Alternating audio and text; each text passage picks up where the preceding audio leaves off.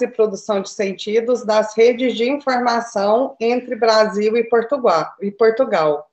O professor Eurico José Dias Gomes, ele é bacharel e licenciado em comunicação social pelo Instituto Superior de Línguas e Administração de Santarém, pós-graduado em Direito da Comunicação pela Faculdade de Direito da Universidade de Coimbra, pós-graduado e mestre em História Medieval e do Renascimento pela Faculdade de Letras da Universidade de Porto, onde defendeu o doutoramento, o pós-doutoramento e as provas de agregação em História. É professor auxiliar com agregação no Instituto Superior de Ciências Policiais e Segurança Interna de Lisboa, o ISCPSI, sendo pesquisador integrado do Centro de Investigação do mesmo instituto. Acadêmico componente na, na Academia Portuguesa da História e acadêmico correspondente também do Instituto Histórico e Geográfico do Maranhão. O professor Eurico José Gomes Dias é investigador, pesquisador, colaborador no Centro de Estudos de População, Economia e Sociedade de Porto no Centro de História da Sociedade e Cultura, no Centro de História Investigação, professor doutor Joaquim Veríssimo Serrão, em Santarém, e em diversas outras instituições científicas e culturais de Lisboa. Agradecemos em nome da comissão organizadora do 14º CEMIG, professor Eurico, a sua presença na nossa conferência de encerramento é, e passo a palavra, então, ao senhor. Inicialmente, o professor Eurico fará a sua conferência. Quem está nos acompanhando pelo canal FIC no YouTube, durante a conferência, pode registrar suas perguntas, seus questionamentos no chat, que tão logo o professor encerre os, a sua conferência de encerramento do 15º CEMIC, nós iniciaremos um debate a partir dessas perguntas postadas aqui no chat. Então, professor, seja muito bem-vindo ao CEMIC, a Goiânia, Goiás, Brasil, e eu passo a palavra ao senhor. Senhora professora, muito obrigado. Uh, antes, de mais nada, uh, antes de mais nada, aproveitar para lhe agradecer a gentileza do seu convite Uh, senhora professora, é sempre um gosto e também desde já conhecê-la, ainda que virtualmente. Uh, também me cumpre uh, agradecer à senhora professora Alessandra Oliveira, porque se não fosse ela, com certeza esta minha participação não seria possível, portanto um agradecimento público e especial muito, uh, muito lhe agradeço essa gentileza também. Um, Obviamente, aquilo que me traz aqui hoje uh, é falar também, obviamente, a senhora professora já indicou o título da minha comunicação, as historicidades, a produção de sentidos nestas redes de informação entre Portugal e o Brasil. E eu começaria um pouco por falar, uh, aliás, a senhora professora já evocou isso há pouco com a minha formação académica, que basicamente toda ela além de todos os outros saberes interdisciplinares a que me tenho dedicado, não deixou em boa verdade de ser uma tentativa sempre de conciliar a história e a comunicação. Ou seja, a minha formação de base acabou por ser, aliás, começou por ser a comunicação, as várias vertentes das ciências da comunicação, eh, só que, em boa verdade, sendo um apaixonado pela história, prosegui uma carreira académica mais veiculada para a história pura. Contudo, não deixei ao longo de todos estes anos, obviamente, de fazer esta tentativa de simbiose entre estas duas grandes áreas do saber. E, portanto, aquilo que nós vamos aqui assistir, até de um ponto de vista, eu diria quase intimista, se bem que estamos aqui a falar para todo mundo, em primeiro lugar para Goiás e de Goiás, Goiânia para todo o mundo, Uh, mas de alguma forma aquilo que me interessava era, sobretudo, levantar aqui mais, ao fim e ao cabo, questões do que propriamente fornecer respostas. E porque a tarefa do investigador, seja ele qual for a área, mas nestas áreas ou nestes campos do saber mais ligados à história da comunicação, as perguntas que o investigador faz, a pertinência dessas questões, são sempre questões em aberto e que todos nós, por si, mas também dentro de escolas, dentro de grupos de trabalho, tentamos dar uma forma, tentar dar algumas respostas. As respostas permanecem sempre em aberto, mas de alguma forma, hum, mas de alguma forma nos obrigam também a refletir sobre os sentidos uh, dos caminhos da investigação pura. Bem, eu trouxe uh, efetivamente uma apresentação que, além das letras, também terá, tive o cuidado de incluir gravuras históricas, porque sempre nos distrai no meio de tanta teoria escrita, e as imagens, de alguma forma, esta parte imagética também foi uma daquelas grandes estratégias de comunicação também desde os seus primórdios.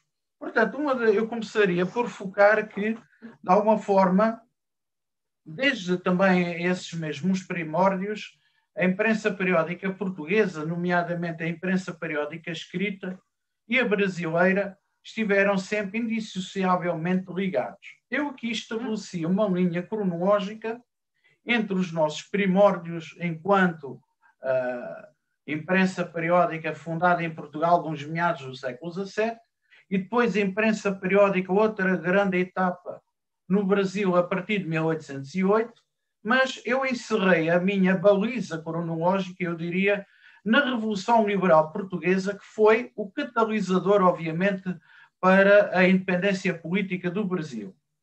Houve, de facto, essa ruptura, essa, eh, esse caminho que a história do Brasil, a partir de 1822, vai trilhar por si própria, mas essa clivagem, a começar pela própria língua e a própria cultura luso-brasileira, obviamente isso, essa ruptura não existiu, obviamente, nos patamares culturais. Esta minha intervenção, de alguma forma, também está sedimentada e percorreu, e pelo menos uh, relembramos aqui as centenas, para não dizer milhares de fontes periódicas, todo este, todo este largo espaço, como os historiadores costumam chamar este longo período, mas que é engraçado e não deixa de ser curioso que nós aqui falamos um pouco da história da comunicação, mas também falamos da história que os próprios periódicos também uh, ajudam a construir. E, de alguma forma, uma das minhas ideias-chave do meu pensamento foi sempre olhar um pouco para o jornalista ou o periodista também ao próprio como um historiador. E a grande maioria dos historiadores portugueses, e já vamos falar um pouco mais à frente sobre isso, não deixou, obviamente, a começar até por mim próprio, por ter uma formação jornalística. Portanto, Aqui uh, avançamos em paralelo em várias linhas, no sentido também de uma construção de uma linha historiográfica ou de uma escrita da história, mas que, de alguma forma, apesar de tudo e de já termos dado grandes passos uh, em prol de uma história da comunicação, que ainda hoje está para fazer uma história geral da comunicação ou da imprensa, Ainda hoje, apesar de todos esses esforços, tanto de, das duas margens do Atlântico, Portugal e o Brasil, nota-se que efetivamente ainda existe um longo caminho a trilhar, ou seja, ainda há uma grande carência de estudos históricos desta natureza dedicados a, ao universo periódico, o que não quer dizer que a pouco e pouco, e também já vamos referir isso, a pouco e pouco se estão a, a dar grandes passos também nesse sentido. Seja como for, será sempre uma tarefa infinita, porque o próprio universo jornalístico português e brasileiro são, obviamente, universos que não têm fim. Portanto, será sempre um trabalho inacabado. E ter a verdadeira consciência desta infinitude, deste universo um, que se estende ao infinito, é uma primeira tomada de consciência de qual, da magnitude dos, dos dos enredos em que nós nos envolvemos. Bem, mas seja como for, ir assumindo que somos historiadores da comunicação, obviamente o historiador da comunicação, tal como um próprio jornalista o faz quando constrói uma notícia, ele pergunta-se, ao fim e ao cabo, aquelas velhas questões, as mais simples de todas: o como, o onde, o quando, porque nasceram determinados jornais, que aqui lhes chamo periódicos, porque é que eles subsistiram, porque é que terminaram, quais os públicos-alvo, a quem lê e, sobretudo, uh, o público-alvo a que se destinam. Eu chamo aqui a atenção também para uma outra parte paralela deste estudo, que é também a história da leitura. A história da leitura enquanto um ato individual, mas também da leitura pública destes periódicos, que é um daqueles trabalhos também que me parece que está ainda um pouco por fazer. Bem, mas seja como for, perceber estas alianças entre a história e a imprensa e, sobretudo, o papel que a história faz na construção de todos estes noticiários que compõem estes imensos periódicos. Bem, mas seja como for, aquilo que nós tentamos enquanto historiadores é, e obviamente um historiador constrói história, ele constrói um modelo, uma representação, desconstrói, constrói, representa, obviamente, um, paradigmas, modelos historiográficos. Ele olha para o acontecimento, mas será que o acontecimento é igual ao evento? Mas como interpretar a história de ambos? Como? E não podemos esquecer que, perante um acontecimento, dois jornalistas vão focar sempre de maneira diferente. Os historiadores são exatamente iguais. E não podemos esquecer que a história se quer isenta, tal como o próprio jornalismo, mas, em boa verdade, todos bem sabemos que a história e a imprensa nunca serão parciais. Isto é um pouco como aos árbitros de futebol. Eles, por mais que se queiram imparciais, nunca o podem ser. E porquê? Porque todos nós temos preconceitos, temos as nossas ideias políticas, religiosas, ideológicas. Ainda para mais, no nosso próprio tempo que assistimos todos os dias, todos os dias estes ataques à verdade histórica, esta tentativa do revisionismo histórico. Enfim, bem, mas seja como for, aquelas perguntas básicas que sempre existem, como fazer uma investigação que possa conciliar estes dois campos do saber, a história e imprensa, com metodologias, com fins à partida que nada teriam a ver, mas que eles são sempre idênticos. Mas aqui o jornalista, a figura do jornalista também se mescla, também se mistura com as funções do historiador. Quando não são exatamente iguais, ou quando falamos, uh, obviamente são uma espécie de vice-versa um do outro. Bem, mas seja o que for, por mais que, e há pouco também falava disto, por mais que nós tentemos ingressar uh, em várias linhas de investigação dentro destas áreas, há que ter a consciência, mais uma vez, da sua vastidão. E porque, de alguma forma, por muito mais que tentemos aprofundar estes temas, eles serão sempre uma ténue introdução, um introito a temas que, obviamente, são vastos. O que é certo e verdade é que todos estes trabalhos vão fornecer, ou pelo menos assim o todos os desejamos, apresentar uma nova compreensão da história e da própria comunicação. Esta história feita do dia seguinte, como eu aqui saliento na, na, no meu texto, uh, e que ao fim e ao cabo estas incongruências, estas inconclusões, distorções, manipulações. Bem, mas o que é certo e verdade é que o jornalismo também pode ser uma fonte primordial para a história, mas o contrário também é verdade e elas têm ambos os mesmos maus. A escrita jornalística e a escrita historiográfica são sempre idênticas. E é boa verdade, e sobretudo para quem estuda a história dos nossos dias, são sempre um espelho do cotidiano. Bem, mas seja como for, e aqui ponho do lado do historiador tradicional, o historiador tradicional olha um pouco para os jornais, os periódicos, os registros audiovisuais, o cinema, ele olha para todos esses suportes informativos e olha com um certo desdém.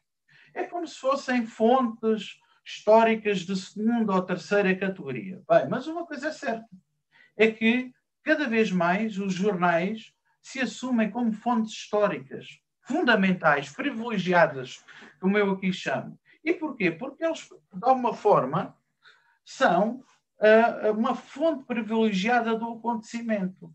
E à partida, à medida que a história do jornalismo se desenvolveu a partir do século XVII, o que nós notamos é cada vez mais uma rapidez do fluxo de comunicação e a memória dos dias que passam, obviamente, faz-se com os periódicos, não é?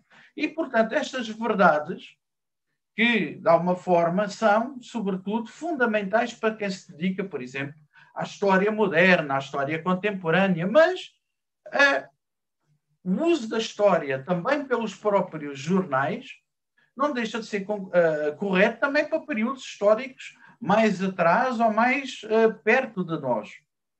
Inclusivamente, eu próprio me estudei, a dada altura, a Idade Média no jornalismo, como já vou apontar isso.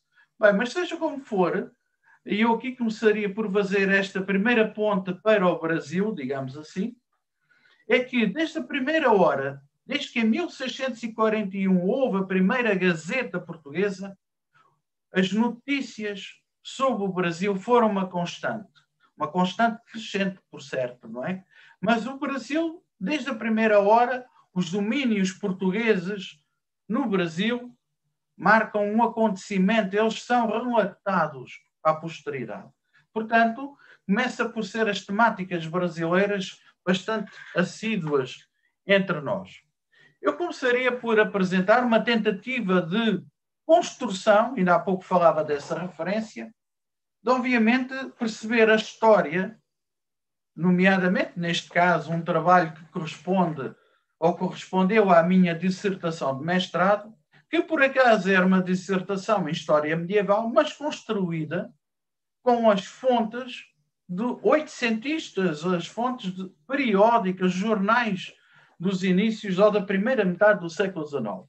Foi, obviamente, uma verdadeira surpresa, porque até aí, sobretudo os medievalistas, olhavam então para os jornais e diziam assim, bem, o que é que isto tem a ver com a Idade Média? Mas o que é certo e verdade é que a Idade Média, como qualquer outra época ou outra cronologia, elas são sempre representações. A história já passou. Obviamente eu não estive lá para ver, não é? Se me perdoam a expressão. Portanto, todos nós construímos história, seja o jornalista, seja o historiador.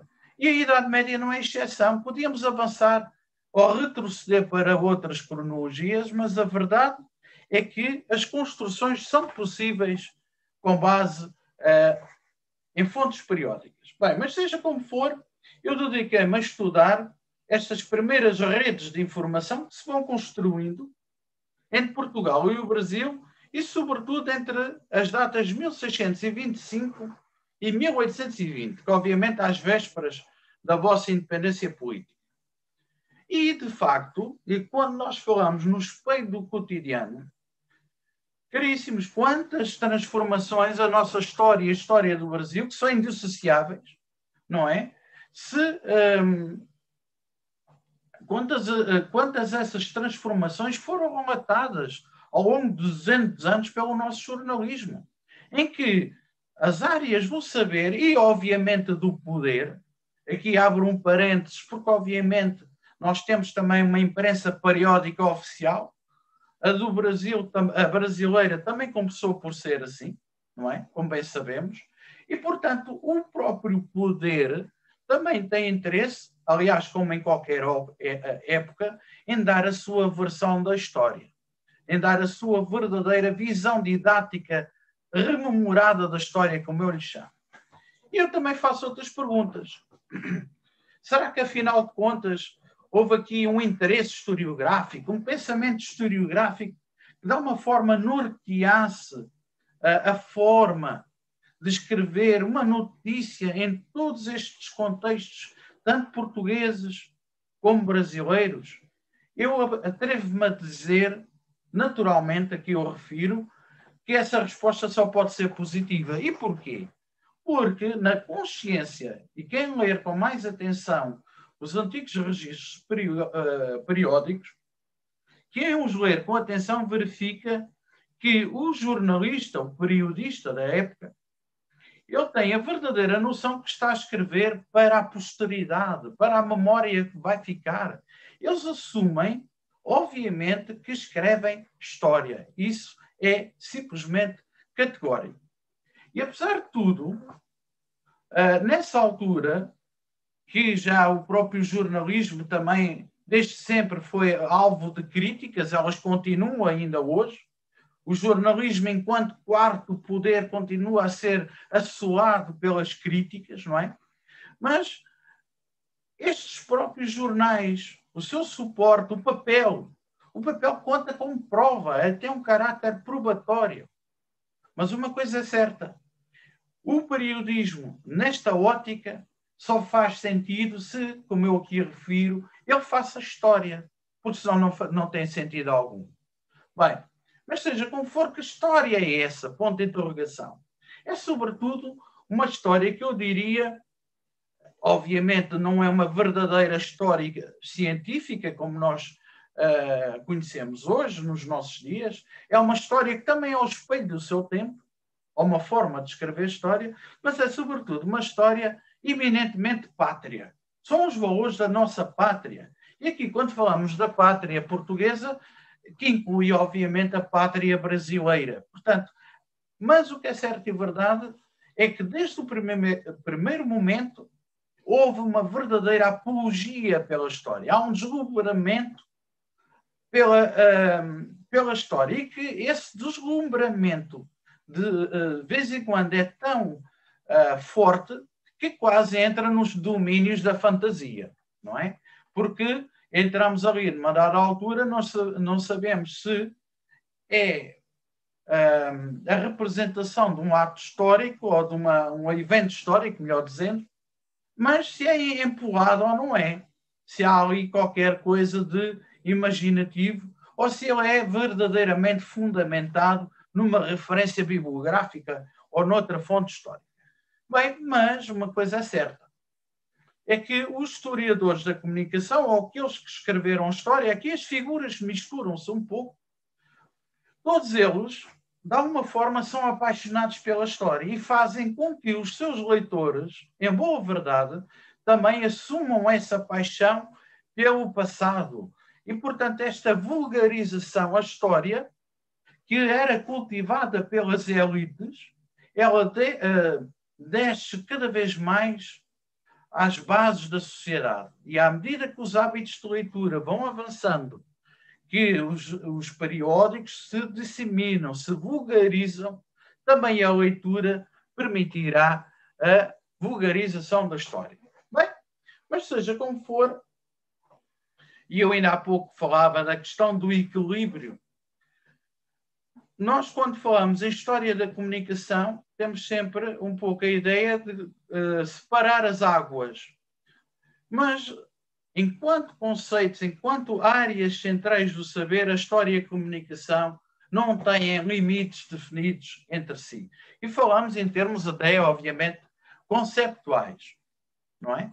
Mas seja como for, eu diria que este equilíbrio entre as partes, entre a história e a comunicação, quase que sem se darem conta, estão em perfeito equilíbrio. Bem, mas seja como for, e voltando a falar este, nesta ideia do crescimento do universo periódico português e brasileiro, eu ainda há pouco falava que são infinitos, mas em boa verdade, eh, a imprensa periódica portuguesa e mais tarde brasileira sempre acompanharam as tendências gerais do jornalismo internacional de muito, muito perto. Obviamente que uh, há uma certa impossibilidade de estudar particularmente todas estas tendências e todas estas temáticas, porque, obviamente, não há tempo. O nosso tempo não permite que tenhamos tempo para, tanta, uh, para tanto desafio.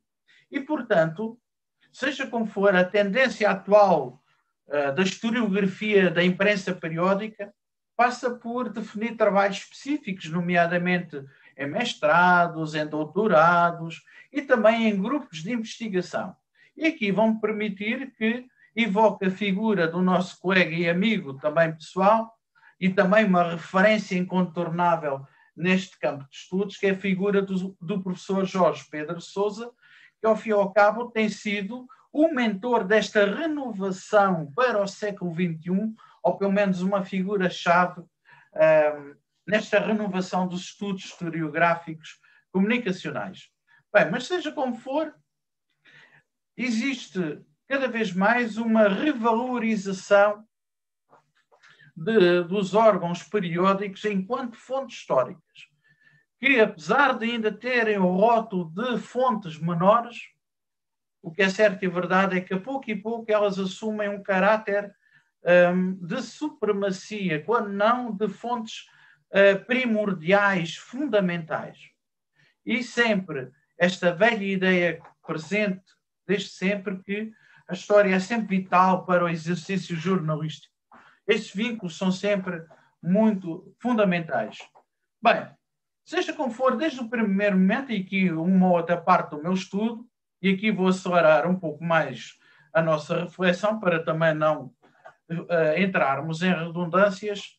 O que é certo e verdade é que, desde o primeiro momento, a história marcou presença nas estruturas uh, da construção jornalística.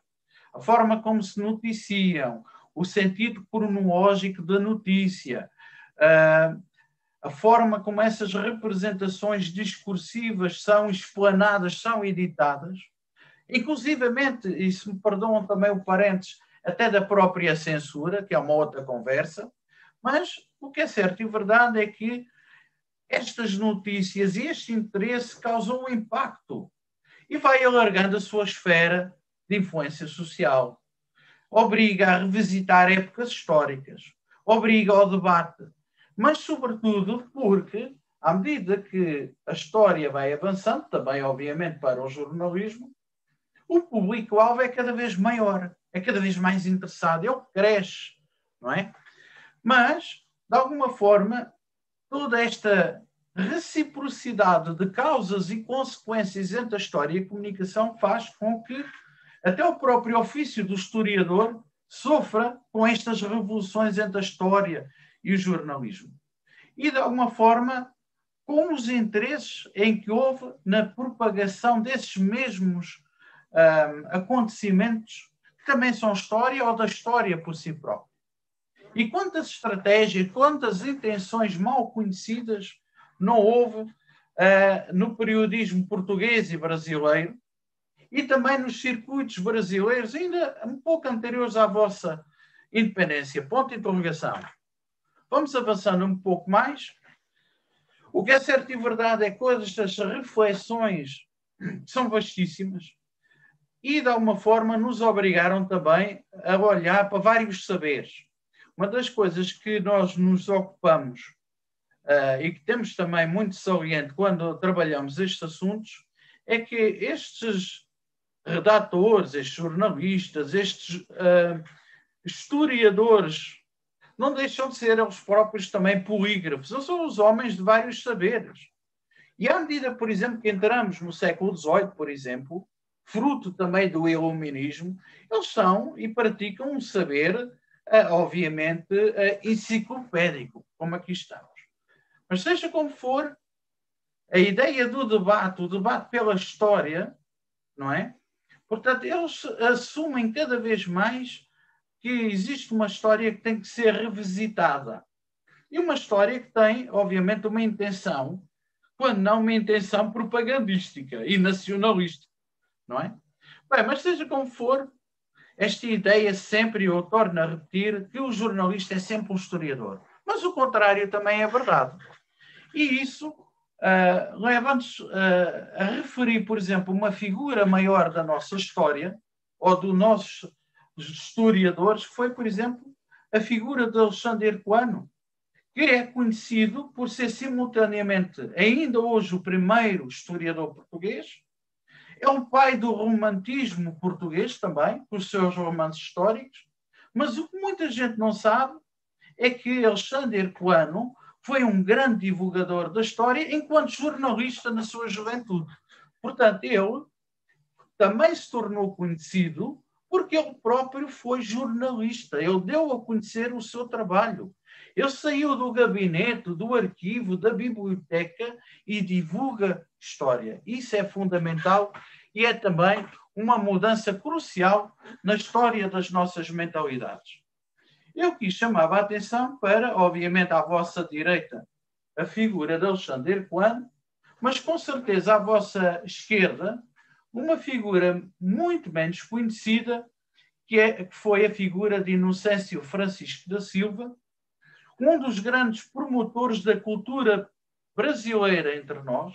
Aliás, eles eram uh, amicíssimos, portanto, eles eram da. Aliás, por pouco não nasciam e morriam no mesmo ano, portanto, eram amigos de longa data e ambos influenciaram os trabalhos um do outro, mas Inocêncio, uh, de alguma forma, foi um nome fundamental para a historiografia periódica portuguesa e brasileira. Inocêncio foi um autodidata, um homem que se dedicou à história e à cultura luso-brasileira, mas é ele, provavelmente, e Alexandre Coan também o fez, sobretudo nas páginas do jornal O Panorama, já vamos mostrá-lo, mas Inocêncio é o primeiro, provavelmente o primeiro um, bibliófilo, diria, no seu um, dicionário bibliográfico português, a olhar para o jornal, para as fontes periódicas, como e dar-lhes a devida importância. Ele próprio também era jornalista. Portanto, aqui os jornalistas são os verdadeiros promotores da história e da cultura.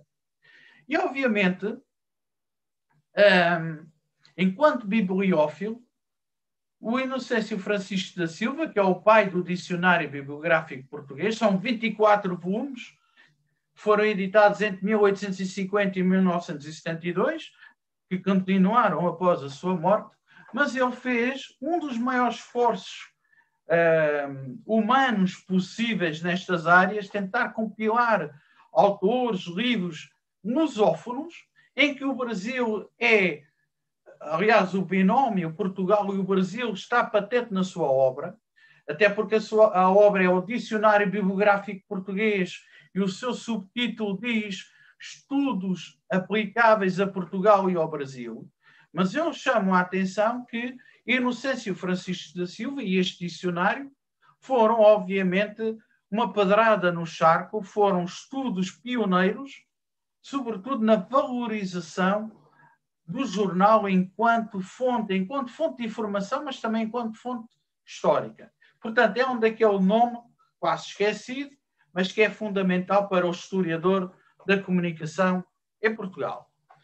O próprio dicionário bibliográfico português não é, aqui está uma, uma, para termos também uma ideia visual dele, também está aqui presente na nossa biblioteca, como não podia deixar de ser, uma obra que é uma obra de envergadura, foi publicada uh, às custas do Estado português, o Estado português promoveu desde o primeiro momento a publicação desta obra, que ainda hoje está na chancela da nossa imprensa nacional Casa da Moeda, mas que é uma obra fundamental sobretudo para os estudos da comunicação entre Portugal e o Brasil.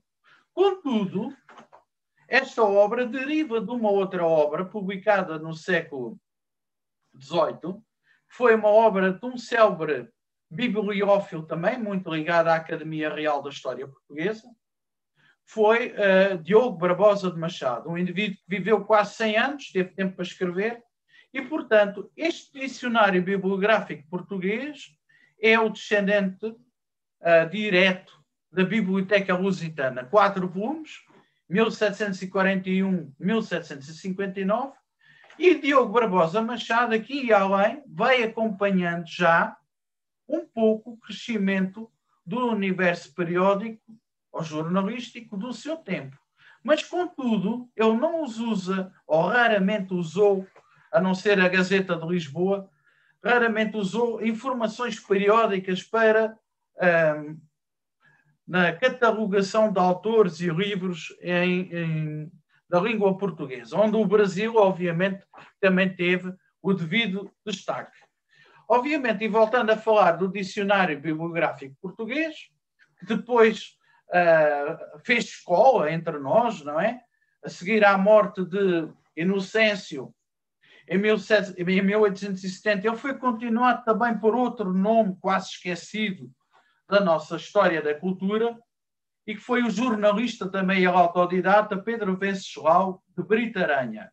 Também eram todos amigos, e de alguma forma outros historiadores, outros jornalistas que foram também uh, continuando este esforço, uh, às vezes megalómano, de uh, compilar informação. Bem, mas seja como for, a Biblioteca Lusitana, Dicionário Bibliográfico Português, deram origem a outra obra, que ainda há pouco fizemos uma conferência sobre esse assunto, em particular, abriu o caminho para um trabalho chamado esse sim verdadeiramente hercúleo e verdadeiramente dedicado ao jornalismo, foi o Dicionário Jornalístico Português, de Augusto Xavier da Silva Pereira, um indivíduo que era um simples funcionário público, mas que tinha uma paixão desmedida pelo jornalismo e a história do jornalismo, ele aproveitava todo o seu tempo livre para fazer apontamentos em todos os,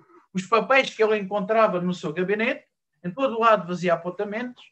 Acontece que este dicionário nunca se publicou. Ainda hoje estamos à espera que ele tenha um verdadeiro aparato crítico, mas ainda hoje está esquecido nas gavetas da nossa Academia das Ciências de Lisboa, embora se possa encontrar a sua edição digital, eh, já, que já data de 2008.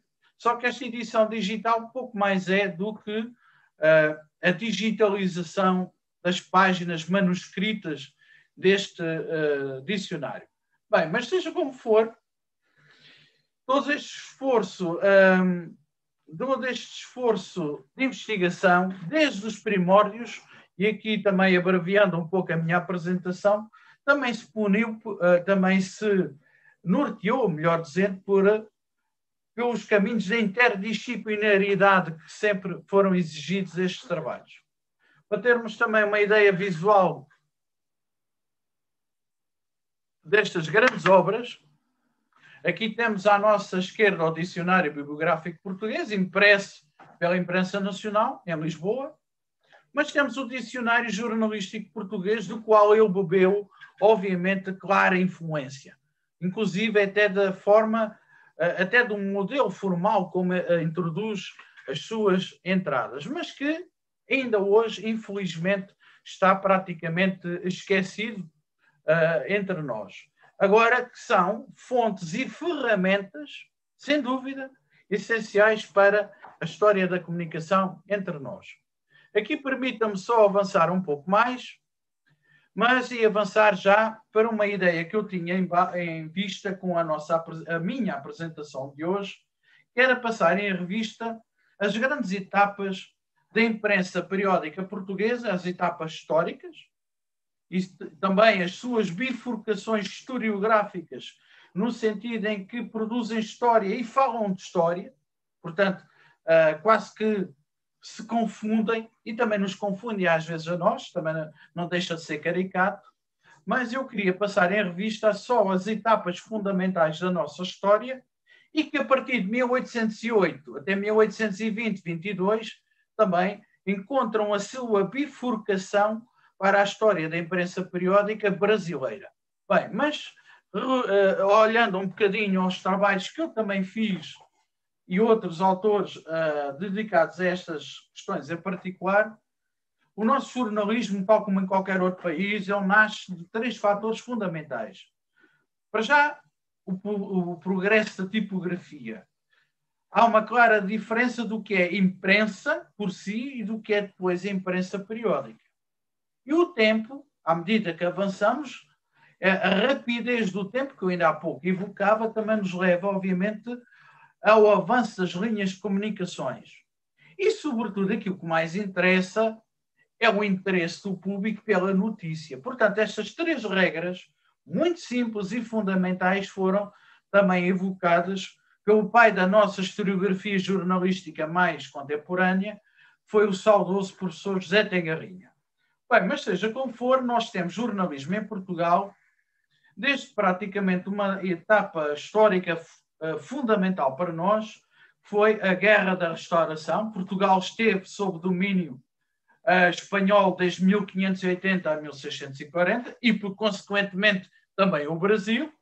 Portanto, com a restauração em 1640, dá-se um período de guerra aberta com a grande potência militar da época, que era a Espanha, e, portanto, desde o primeiro momento houve a necessidade de firmar ou de fundar um jornal, ou um periódico, ou neste caso uma gazeta, que noticiasse as notícias da guerra. Um órgão que nós hoje entenderíamos como um órgão político ou militar, órgão informativo, caráter oficial. Portanto, toda esta informação estava sob domínio do poder.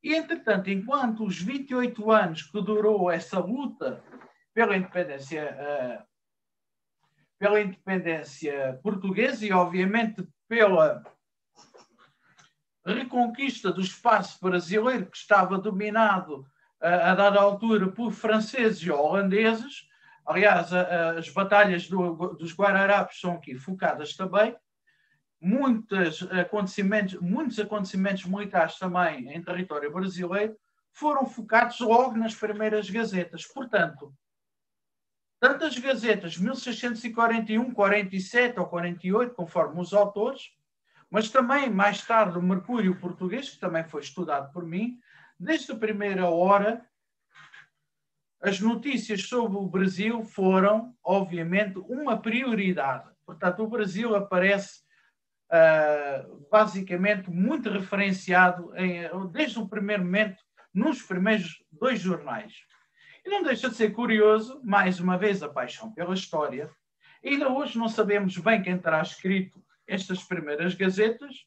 Sabe-se quem, pelo menos, foi o editor-chefe da segunda gazeta chamada Mercúrio Português, mas não deixa de ser curioso que um dos hipotéticos autores fosse Francisco Brandão, Frei Francisco Brandão, que na altura era o cronista-mor do reino, um historiador oficial, mas que de alguma forma tomou o encargo também de escrever uh, jornalismo, pelo menos o jornalismo na, no prisma do século XVII, obviamente, não é? Mas este Frei Francisco Brandão, um dos pais da nossa historiografia, ele de facto uh, participa numa grande obra chamada Monarquia Lusitana, que não interessa ao caso, mas que, de alguma forma, é um cronista-mor que escreve história, que essa história se confunde com o jornalismo. Para termos também uma ideia visual de como eram essas gazetas, as gazetas relatam as novas todas, as novas, as novidades, de 1641 em diante, uma tiragem mensal, Aliás, permitam-me também uma, um pequeno parênteses, à medida que o tempo avança, obviamente que a tiragem dos jornais também uh, acelera, não é? E acelera de tal maneira que chegamos aos dias de hoje e são eles os maestros do cotidiano, não é? São eles que, com a sua batuta, marcam ainda o tempo.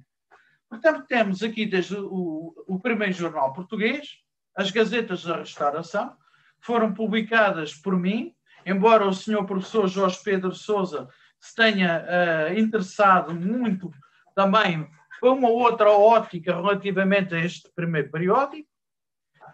Temos aqui o nosso Mercúrio português, que corresponde à parte final e mais difícil da Guerra da Restauração, 1673-67, e aqui temos aquilo que durante muito tempo foi considerado o primeiro jornalista português, o que é uma falácia, porque não era de facto o jornalista, porque Dom António de Souza de Macedo era secretário de Estado português, o terceiro na linha hierárquica do Estado, a seguir ao rei e ao escrivão da puridade, o cargo equivalente a primeiro-ministro, mas Dom António de Souza de Macedo teve a responsabilidade editorial de ter uma equipa atrás de si que escreve notícias, obviamente, sobre a guerra da restauração. E mais uma vez, o Brasil não foi esquecido. Eu quis chamar a atenção, que também foi uma obra publicada por mim, curiosamente pela nossa imprensa nacional, e que tem, uh, por curiosidade, esta tríade do poder na, na, na capa, Dom Afonso VI, uh, o, o, o Conde Castelo Melhor à nossa esquerda e então o Dom António de Sousa de Macedo, secretário de Estado, erroneamente chamado de primeiro jornalista durante muito tempo. Bem, mas seja como for, e aqui acelerando um pouco mais a nossa apresentação, à medida que saímos do século XVII e mal terminou o, conflito pela independência, o Estado decretou praticamente o fim um, da imprensa periódica. Quase que é preciso entre, entrar no século XVIII para, de alguma forma, a escrita da história, a escrita periódica, tornar a reacender-se novamente com a Gazeta de Lisboa. Mas o que é certo e verdade é que esta forma de escrever história, e aqui, obviamente, vamos escusar um, arrematar todos estes itens que aqui tenho uh, evocados, a nossa história, a forma como se relatam os acontecimentos, obviamente é uma, um relato sempre parcial, não é? Não tem a isenção jornalística que deveria ter nos nossos dias. Mas nós notamos que até a forma de construir notícias não deixa de ser também, tal como a própria história, uma história providencialista, que justifica a nossa existência histórica. E porquê? Porque os poderes estão sempre vigilantes, não é?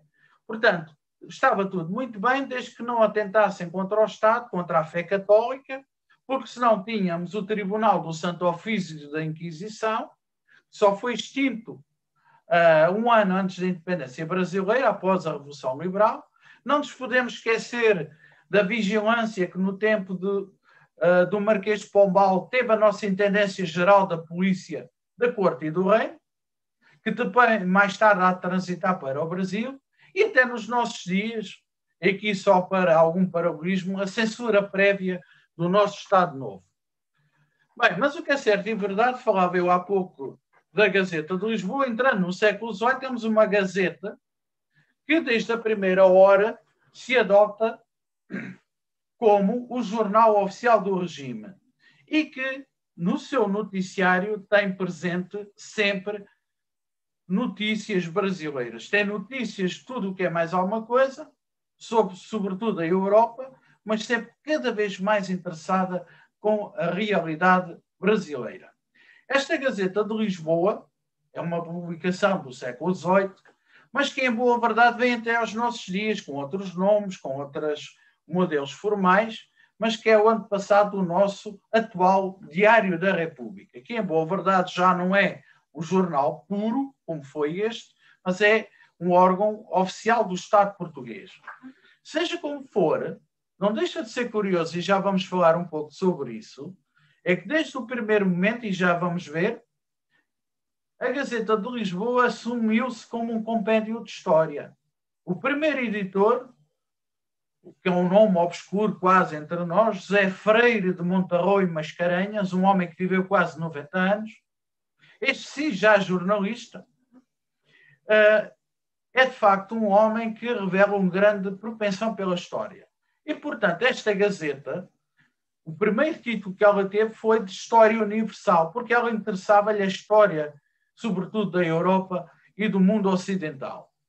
E desde o primeiro momento nota-se e notou-se, apesar de tudo, esta macrocefalia, ou seja, um, um jornal, todos estes jornais foram editados primeiramente em Lisboa e a pouco e pouco vão começando a editar-se noutros locais, mas a macrocefalia portuguesa, cultural portuguesa, estava obviamente centralizada na capital. Mas a pouco e pouco a esfera das elites desce até às, às bases da sociedade, sobretudo com a vulgarização da, um, da informação.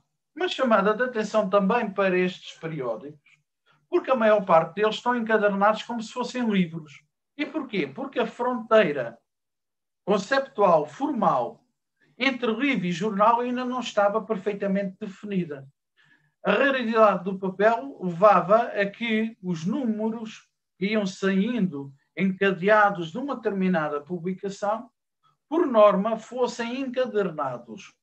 Daí muitas, muitos analistas não lhes chamarem uh, jornais, mas livros. Quantas vezes não acontece isso? Mas que, em boa verdade, são um, jornais. Só que essa fronteira entre periódico e livro não estava, obviamente, ainda perfeitamente definida.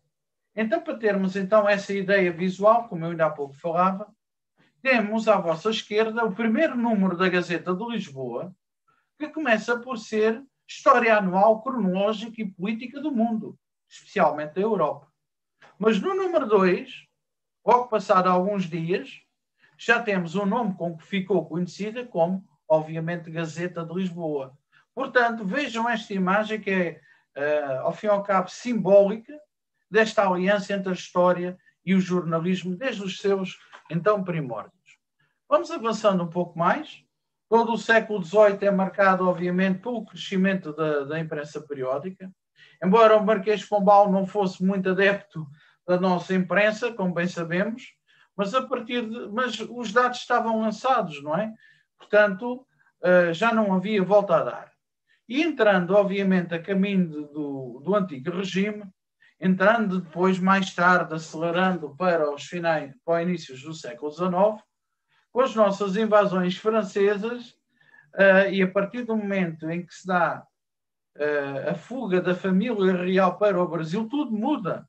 Ou seja, Portugal de metrópole passa à colónia e o Brasil de colónia passa à metrópole. Portanto, isso também do ponto de vista da história universal também foi uma verdadeira viragem, uma verdadeira inovação também política.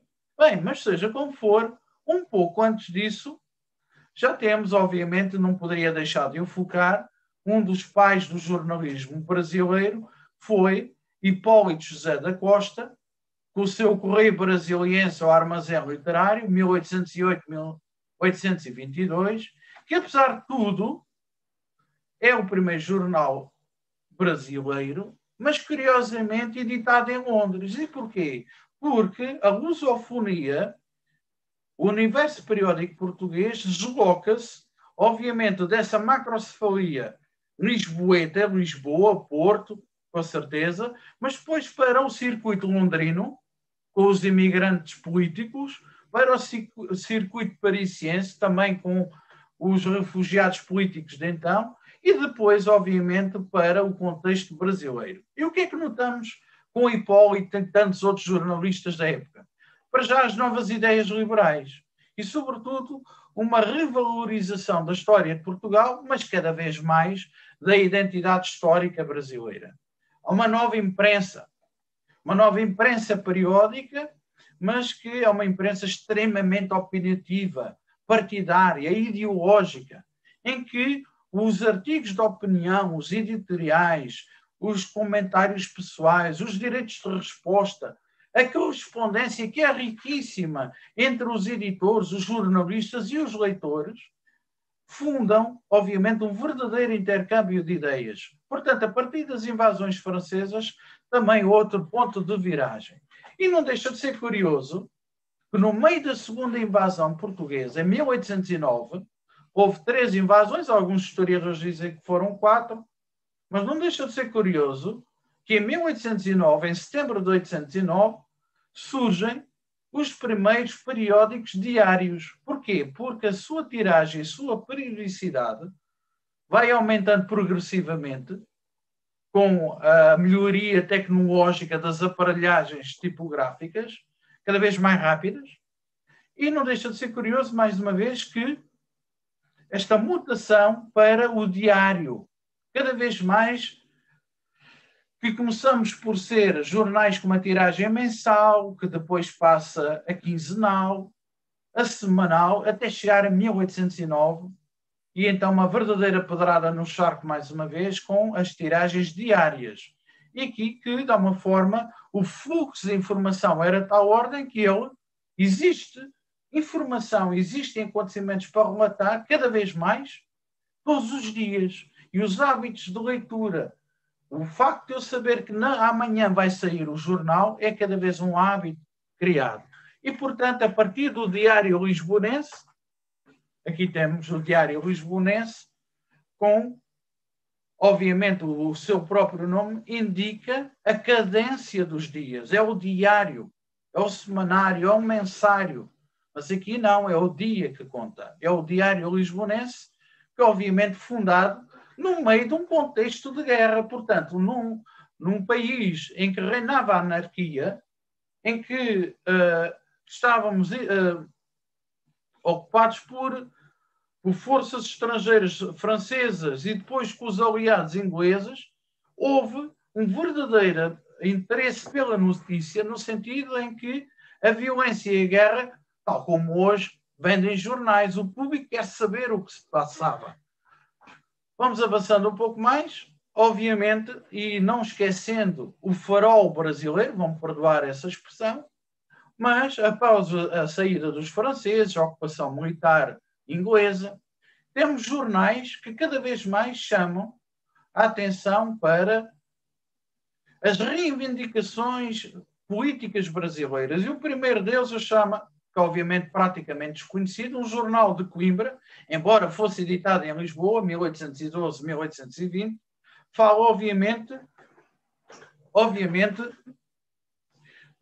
artigos, acontecimentos, jornalistas, correspondentes brasileiros, cada vez mais. E à medida que o tempo vai avançando, os assuntos oriundos do Brasil cada vez em crescendo. Entretanto, acontece que estamos às, às vésperas, obviamente, o Brasil da independência e nós da Revolução Liberal, aqui cada vez mais a tónica política toma a, a primazia, ou seja, cada vez mais a mudança urgente de, reformas políticas de um absolutismo para o liberalismo, a necessidade de uma Constituição, um pouco na, na senda da Constituição francesa que saiu da Revolução Francesa, em que a história legitima de alguma forma todo o noticiário jornalístico desta época. E aqui se alientava sobretudo dois periódicos que focaram, obviamente, uh, largamente notícias oriundas do Brasil, como o Gênio Constitucional e um pouco mais tarde o Astro da Lusitânia, em que, de alguma forma, eles um, ehm, transparecem as convulsões revolucionárias do seu tempo, mas que não deixam de fundamentar o seu noticiário, obviamente, na autoridade da história.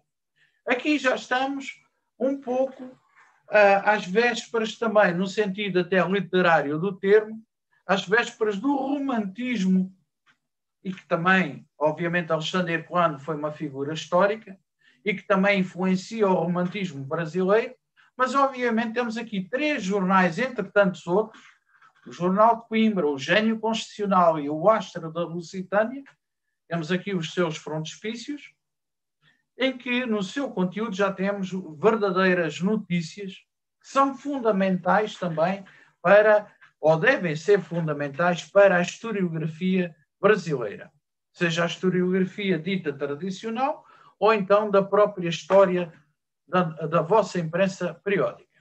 Também, a história também se faz do humor, e nomeadamente a história do jornalismo. E, portanto, um dos jornais autorizados, além da Gazeta de Lisboa, a circular pelo Brasil, atendendo a que a coroa portuguesa não queria sequer uh, prelos, ou seja, oficinas tipográficas em território brasileiro para não terem ideias políticas adversas, mas uh, só houve praticamente dois periódicos, uh, daquilo que eu também tenho conhecimento, é claro, autorizados uh, em território brasileiro. A Gazeta Oficial, a Gazeta de Lisboa, e também um jornal praticamente desconhecido, a maioria, que foi o Almocreve das Petas, que obviamente era um jornal satírico, mas que eh, nas suas entrelinhas já se notava também uma certa crítica política.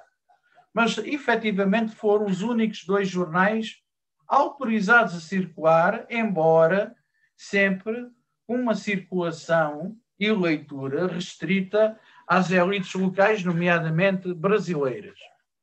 Outro jornal que também foi uh, próprio desta época, embora muitos autores discordem que ele possa ter sido um jornal. É mais um folheto, porque esta questão também formal de categorizar um periódico também é sempre uma questão em aberto. Mas não nos podemos esquecer, até porque o nome é curioso, o piolho viajante. O piolho viajante que retrata os acontecimentos, as modas, as manias. Diríamos que era a Clarice Lispector daquela época, com as suas diatribes contra os poderes instalados, mas que também, de alguma forma, vazia a sua crítica social e política. Portanto, todo aquilo que era relatado pelo piolho viajante era sempre motivo de alguma sátira, digamos assim. Bem, mas ainda hoje eu chamo a atenção e trago este, este hipotético periódico à vossa atenção um pouco por curiosidade, para termos uma ideia. Entrando, obviamente, em 1808, com o estabelecimento do poder da coroa portuguesa em terras brasileiras, no Rio de Janeiro, obviamente também começaria aqui a verdadeira grande etapa a verdadeira grande etapa uh, da história do, da imprensa periódica brasileira e, sobretudo, com a Gazeta do Rio de Janeiro, que mais não era do que uma cópia um pouco uh, menor, eu diria, da célebre Gazeta de Lisboa. Portanto, a partir do momento em que a coroa uh, se instalou em terras brasileiras, também teve direito a. E houve também essa necessidade urgente de veicular informação dita oficial.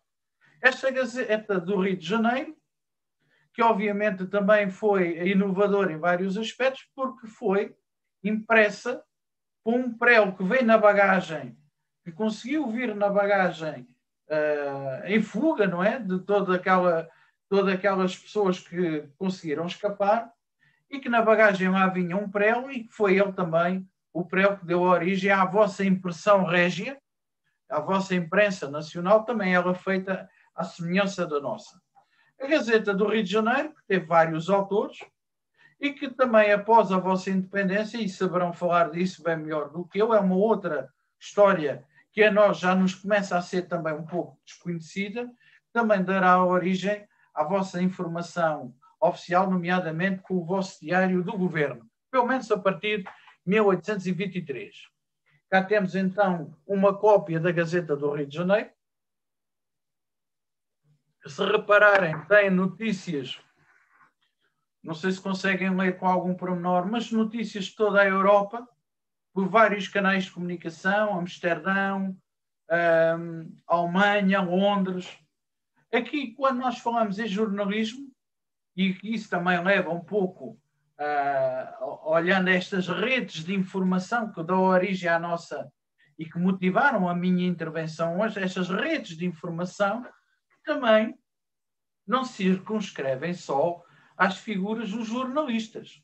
Temos que recordar as figuras dos editores, dos promotores, oficiais ou não, particulares ou do próprio Estado, os livreiros que também vendem jornais, os correspondentes e, sobretudo, os tradutores, porque estas notícias são veiculadas para o Rio de Janeiro em língua alemã, em língua inglesa, em francês, até em russo, e que nos levanta outras questões. Afinal de contas, quem seriam esses tradutores? É porque não estou a ver em 1808 muitas pessoas a saberem russo nem sequer em Lisboa, quanto mais no Rio de Janeiro, não é? Portanto, essa questão ainda é uma daquelas incógnitas que nós também não sabemos. Além da Gazeta do Rio de Janeiro, outra ilustre uh, periódica, a Idade de Ouro do Brasil, obviamente também semelhante à Gazeta de Lisboa, o primeiro uh, periódico também fundado na cidade da Bahia.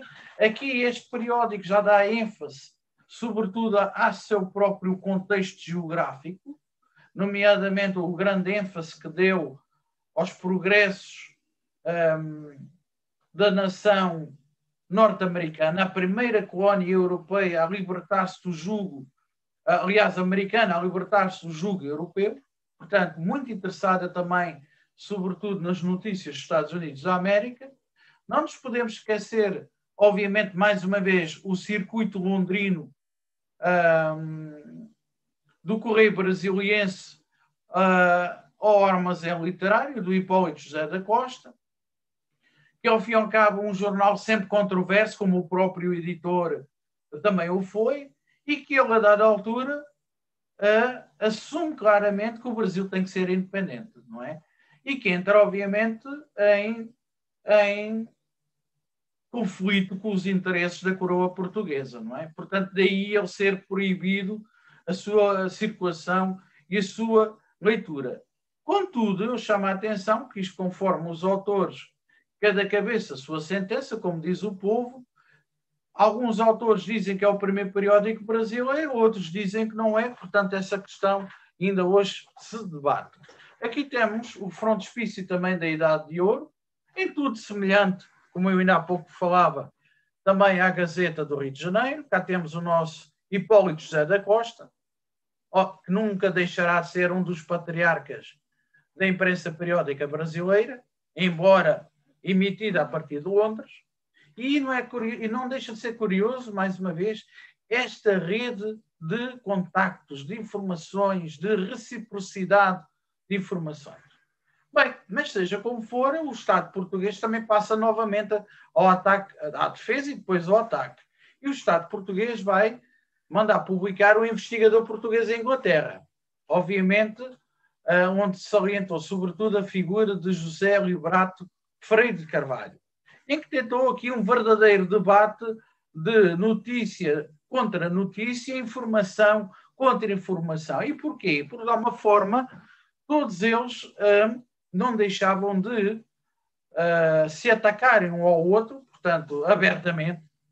E não deixa de ser curioso que o Estado português promoveu o investigador português em Inglaterra para defender os interesses portugueses no Brasil e, a dada altura, se reverte contra uh, o próprio, a própria coroa e passa a promover, obviamente, a independência brasileira.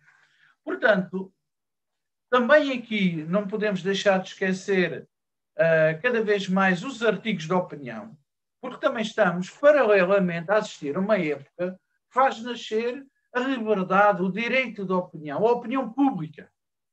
Todo, esta, todo esta, este debate político, sobretudo de natureza constitucional ou anticonstitucional, porque também quantas publicações não se fizeram de caráter absolutista ainda tradicionalista. Aliás, todo o século XIX assiste a esse confronto entre os vários liberalismos, entre a ordem antiga e a nova ordem liberal. E, portanto, este direito de resposta às opiniões dos editoriais é uma verdadeira, é um verdadeiro campo de batalha de opiniões político-públicas. Também, para vossa curiosidade, o investigador português em Inglaterra, que se assume também como um jornal literário, mas que não deixa de ser um jornal eminentemente político. Ele, de facto, é fundamental, sobretudo para quem se dedica à história política do Brasil. Vamos avançando um pouco mais. Outros jornais que ainda hoje eu, pelo menos, não consegui encontrar. Um, uh, um entre vários, mas, sobretudo, há um jornal uh, fundamental destes primeiros tempos, o Popular, editado no Rio de Janeiro durante dois anos, mas que eu não consegui encontrar em parte alguma, e tivemos, de facto, outros jornais que também são referência, nomeadamente o Patriota, jornal literário, político e mercantil. Portanto, ao, ao fim e ao cabo, estas grandes linhas uh, da vida brasileira futura, política e a parte económica.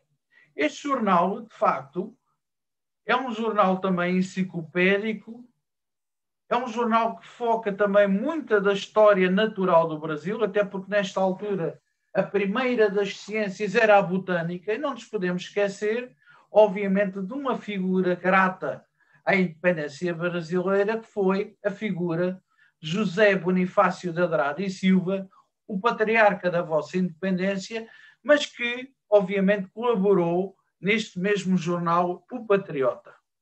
E aqui temos, obviamente, também ele impresso na impressão régia no Rio de Janeiro em 1818. Mas, como bem sabem, melhor do que eu será, obviamente, o pai da independência brasileira. Eu, de facto, conheço a figura José Bonifácio de Andrade e Silva num outro contexto mais ligado, sobretudo, à, à sua colaboração com a Academia das Ciências de Lisboa, que também motivou outra obra publicada por mim, mas que por agora me escuso de uh, evocar. Bem, e aqui os acontecimentos, e caminhando já para o fim da nossa apresentação, tudo se precipita a partir de 1807, 1811, a permanência da família real no Brasil, a ocupação militar inglesa em Portugal, que num certo prisma causou mais dano, se calhar, do que do que a ocupação militar francesa, até que em 1820 se dá a nossa Revolução Liberal, que comemorou 200 anos no ano passado, mas que, em virtude da pandemia, essas comemorações acabaram um pouco apagadas. Mas a Revolução Liberal é simplesmente aquele movimento que permite a independência também do Brasil. Porque se assenta, embora a Revolução não quisesse a independência brasileira, mas que abre o caminho para essa independência, sobretudo com as exigências constitucionais que são para todos os portugueses. Só que com a Constituição e com as cortes constituintes, ou seja, as grandes assembleias legislativas para preparar a Constituição de 1822, obviamente que a primeira Constituição portuguesa foi contrária aos interesses uh, brasileiros. E, portanto, a 7 de setembro desse ano, obviamente, que avançam para o grito do Ipiranga e, a partir daí, a nova história do Brasil.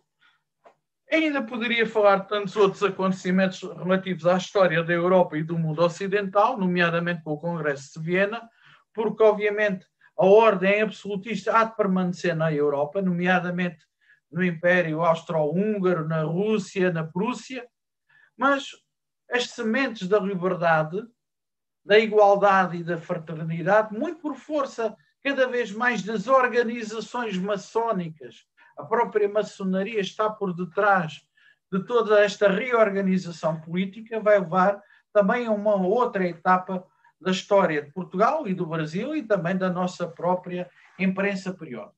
Isto para dizer que 1820, 1822 são uh, épocas de viragem, um turning point em qualquer uh, compêndio de história, mas também, obviamente, de um compêndio de história do jornalismo ou da imprensa periódica, como queiram chamar. E porque, de alguma forma, a história continuará o seu caminho, aqui um pouco mais apartada, mas não nos podemos esquecer que, em termos culturais, a reciprocidade entre as redes de informação uh, entre o Brasil e Portugal não se vão, uh, não vão terminar, elas, por contrário, até vão aumentar muito por força também mais tarde da imigração portuguesa para o Brasil e o regresso de muitos desses imigrantes às terras de origem. Portanto, e porque este tempo também já é um tempo que vai preparando, por, por exemplo, como ainda há pouco falava, o próprio um, romantismo, que também é uma etapa muito grata à vossa imprensa periódica. Temos aqui o Diário do Governo, uma daquelas novas etapas da Gazeta de Lisboa, que também, obviamente, vós, em 1823, também vão ter o mesmo diário de governo, copiando exatamente a mesma dinâmica, apesar da independência. Só mesmo para terminar, a velha questão de sempre. Afinal de contas, a história e a imprensa, reuniões ou não, discordantes entre si. O que é certo e verdade é que desde o início, desde o início, seja lá qual for o periódico, a história está sempre presente. E a história continuará, como de continuar depois de nós cá estarmos, não é? A história continua. Os jornais são fontes primordiais. E não posso esquecer que eu próprio, entretanto, ainda olhando um pouco para a minha carreira, para, os meus, para as minhas reflexões em termos de investigação histórica, eu próprio retomei estas ideias também uh, mais tarde com as revistas literárias românticas, como o Panorama, o Arquivo Pitoresco e a revista O Ocidente. Mas, sobretudo, o Arquivo Pitoresco e o Ocidente tiveram um amplo circuito de informação e de, de, divulgação para território brasileiro. Portanto, são fundamentais, até porque, ainda me recordo, por exemplo, o Arquivo Pitoresco foi fundado com capital uh, com fundos brasileiros. Portanto, não deixa de ser curioso que tudo isto está sempre muito presente aqui entre nós. Também para termos uma ideia também visual destes novos jornais, que em boa verdade também já não são bem jornais, já não são livros, mas também já são revistas. Portanto, muitos, também muitos dos historiadores também tem que saber também definir um pouco estes limites conceptuais do que é uma revista, um jornal e por aí afora. Estas já são revistas. Mas tendo eu estes originais encadernados como se fossem um livro, muitos dos leitores pensarão que eles são livros, mas não. São publicações semanais e que foram revistas fundamentais para o universo uh, luso-brasileiro. Não deixa de ser curioso que até a revista O Ocidente foi publicada até 1915. No seu primeiro número tem o Alexandre Irquano, da mesma forma como temos uma, uma visão do Rio de Janeiro, do Pão de Açúcar, não é? No primeiro número do Arquivo Pitoresco. Portanto, as afinidades entre Portugal e o Brasil sempre muito presentes. Só mesmo para terminar, uma outra obra que eu também me dediquei a estas representações e que aqui faço então uma, uma abordagem de todos os periódicos, foram quase 300 periódicos que analisei e que fazem a história do nosso jornalismo, mas que a partir de 1822 seguem uma outra linha. Mas, e voltando, e, aliás, terminando com as perguntas com que fiz, iniciais, caríssimos, estas questões relativamente, relativamente às ligações, às conexões, às divisões, às ambiguidades entre história e comunicação, hão de continuar. A história há de ser sempre o suporte da notícia o jornal de hoje, se daqui a 100 anos se lembrarem de nós, o jornal de hoje será igualmente uma fonte histórica. Portanto, de alguma forma, a história dissemina-se culturalmente, porque ela também se quer pedagógica, didática também para o público, através dos periódicos. Portanto, estas afinidades entre a história e a imprensa hão de continuar -se sempre. Mas, da mesma forma como ninguém conhece o futuro, eu termino perguntando que, afinal de contas, que futuro para estas conexões.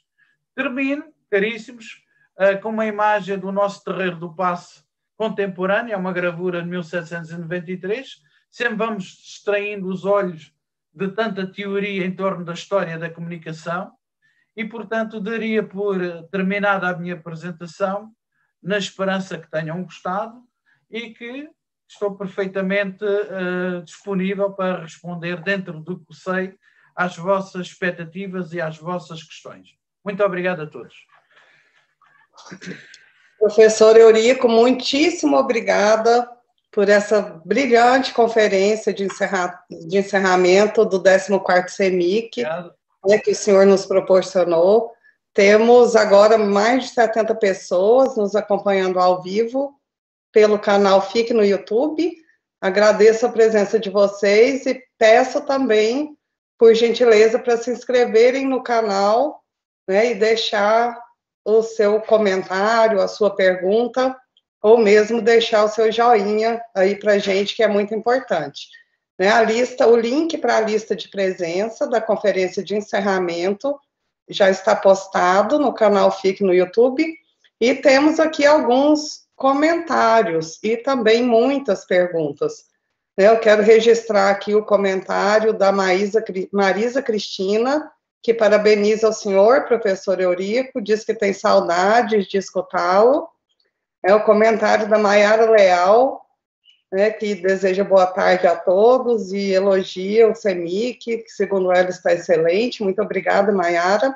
A professora Ana Carolina Rocha Pessoa Temer né, que fala a respeito de que o CEMIC está internacionalizado, realmente essa é a nossa intenção, e cada vez mais, eu até conversava isso mais cedo no WhatsApp com o professor Eurico, e o comentário do Hugo Canossa, né, que renova aí os cumprimentos.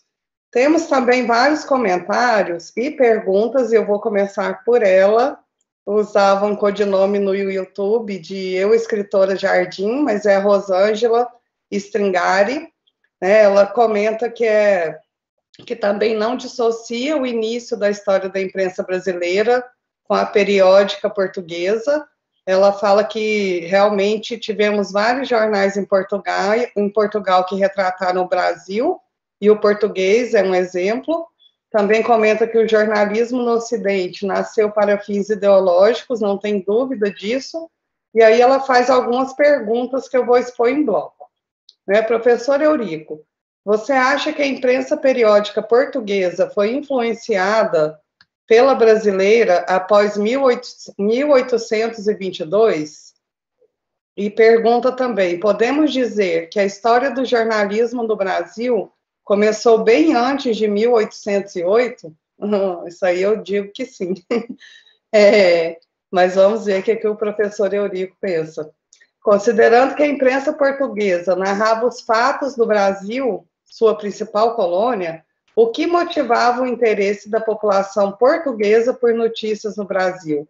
Havia também algum interesse por, pelas notícias das outras colônias? São as perguntas nesse primeiro bloco da Rosângela Strengari. Senhora professora, dá-me licença que possa responder? Tentando responder Sim. a todas de uma vez só. De facto, eh, é indissociável que a imprensa periódica brasileira nasça da, da portuguesa. Mas, desde o primeiro momento, vai construindo uma identidade muito própria. Obviamente que não nasce em 1808, é, lógico que nasce muito anterior a isso, sobretudo um, no, no, no circuito londrino, não é? E, portanto, com Hipólito José da Costa, mas de alguma forma um, é uma daquelas perguntas que permanecerá também sempre em aberto. Obviamente que eu também sou a favor que nasceu um pouco antes, não é? Não foi apenas porque a corte portuguesa vai para o Brasil que nasce, obviamente, a imprensa periódica aí.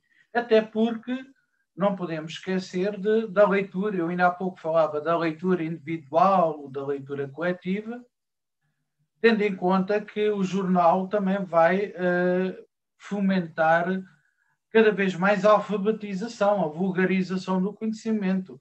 Uh, um facto empurra outro, não é? A causa-consequência sempre. Bem, mas seja como for, um, e não perdendo o, o nosso raciocínio, são indissociáveis, se bem que os propósitos com que estas notícias são editadas, apesar de tudo, o seu público-alvo não é massificado, nem poderia ser. Quem lida com estas informações, quem as lê, ou sobretudo até tendo em conta que a grande parte da população portuguesa e brasileira era analfabeta, há uma pessoa que lê e todos os outros escutam seja num salão, seja num espaço público, seja num café, não é? Que já os cafés políticos começam também nesta época. Bem, mas seja como for, isto para dizer que são as elites quem leem. E, portanto, há interesse pelas notícias uh, de Portugal e do Brasil e vice-versa, mas essas notícias só interessam, sobretudo, apesar de tudo, a uma elite que começa, obviamente, a crescer e a, a vulgarizar-se, mas que ainda está nos patamares superiores da sociedade, ainda não está nas camadas mais baixas. Portanto, eh, são notícias que não deixam de interessar a pessoas, por exemplo, que têm estudos, que têm formação universitária, que são funcionários públicos, que são militares, que são membros eh, das ordens religiosas, ou das elites académicas. Portanto, tudo isso, uh, ou seja, o público-alvo vai se expandindo, mas ainda não estamos no tempo da informação massificada. Alguém perguntava aí também uh, se apareceriam notícias daquilo que eu conheço sobre outros domínios brasileiros. Isso é notório, sobretudo a partir, talvez, da segunda metade do século XIX. Por aqui as notícias são muito, muito esporádicas. E porquê? Porque o verdadeiro interesse para a coroa portuguesa era o Brasil. Os seus domínios eram na Índia, algumas cidades, pequenos povoados, da Índia chamada Índia Portuguesa. A África ainda só tem pontos de uh, fixação, sobretudo em Angola e Moçambique, na, onde é hoje a Guiné-Bissau, mas não há um verdadeiro interesse, eu diria, entre aspas, um verdadeiro interesse africano, porque o verdadeiro interesse é, sobretudo, brasileiro.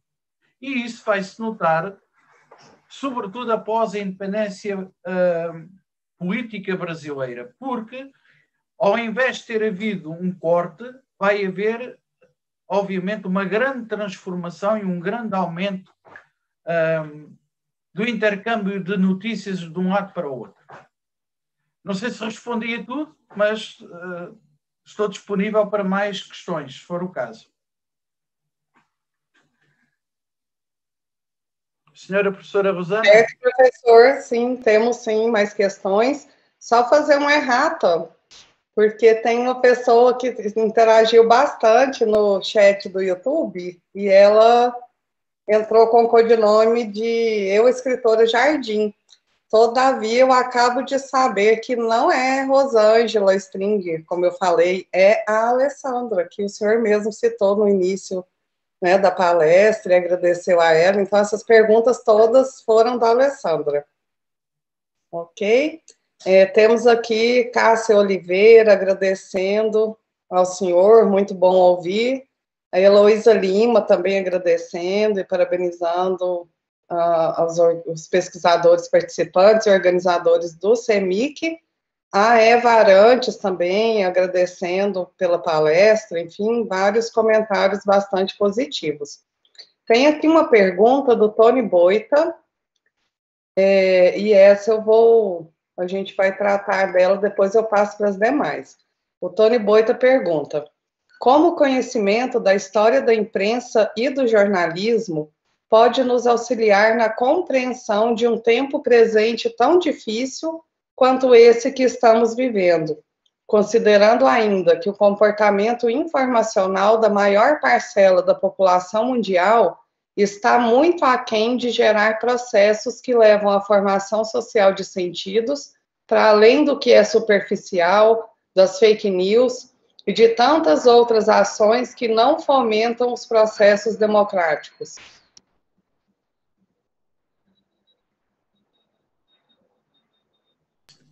Senhora professora, posso responder? Eh, é uma opinião pessoal, vale o que vale. Uh, mas a opinião, uh, vou fundamentar a minha opinião pessoal com aquilo que eu conheço e que li desde os primeiros periódicos até aos periódicos mais próximos de nós. Todas as épocas constroem esquemas muito próprios de informação e de contra-informação. As fake news não são dos nossos dias. É que já em 1641 tínhamos fake news.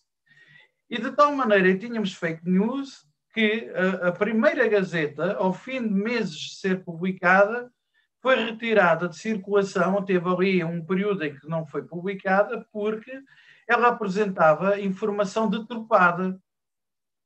Portanto, desde 1642 já temos fake news. Portanto, em todo o jornalismo, aliás, toda a gente conhece em, em ambas as margens do Atlântico, toda a gente conhece o padre António Vieira, e se havia um opositor às gazetas e aos mercúrios e à, à falta de verdade que ele achava que tinham, era o padre António Vieira, que detestava jornais. Portanto, cada época também constrói, obviamente, os seus esquemas de verdade.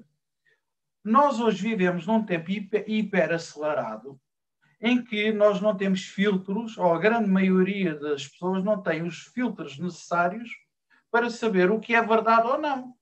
Porquê? Eu não estive lá, eu não testemunhei, a minha opinião não é igual à do outro, mas estas dinâmicas serão sempre as dinâmicas, penso eu, próprias em qualquer tempo mesmo num tempo de informação real, informação instantânea, toda a verdade é sempre deturpada. Eu costumo dizer, vão perdoar a provocação, todo o historiador é mentiroso. Porquê? Porque ele constrói verdades à sua imagem. Seja lá se é uma pessoa que tem mais ou menos preconceitos, tem uma ideologia mais ou menos vincada. Portanto, as ideologias sobretudo a partir de 1820, 22, com os partidos políticos, os clubes políticos, os debates, uns a favor, outros contra as políticas liberais, levaram a uma construção enormíssima de mentiras, de calúnias. Não é? Portanto, as verdades, o que nos leva à verdadeira questão universal, onde é que está a verdade, não é? Portanto, é uma questão que será sempre pertinente e muito própria também do debate dos conteúdos destas fontes de informação. Mas, passa a expressão, é uma opinião muito pessoal, não é? Muito obrigado. Obrigada, professor. Temos aqui também uma outra pergunta da Joara Castro da Conceição. Ela pergunta o seguinte: como pensar a história em tempos de memórias tão virtualizadas? Diante das diversas possibilidades de escrita e circulação da informação, como a comunicação traduz tantas mentalidades?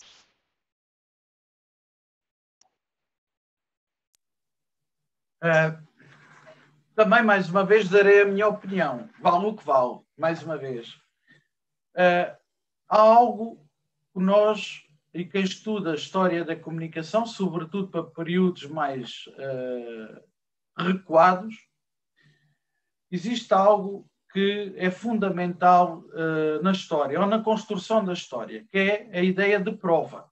Se não houver um documento, se não houver, como eu referi até na minha apresentação, um valor probatório, um valor de prova, de que aquele jornal existiu, mas que ao existir ele por si também constitui uma fonte histórica, mas eu pego, eu seguro o jornal com as mãos, é material, é o papel.